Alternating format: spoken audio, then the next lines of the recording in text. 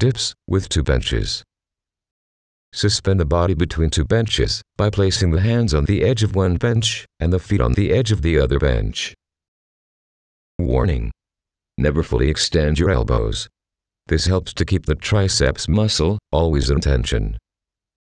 Keep your elbows as close as possible near the bust. Never enlarge outward. Inhale, then dip by bending the elbows and rise by extending the forearms.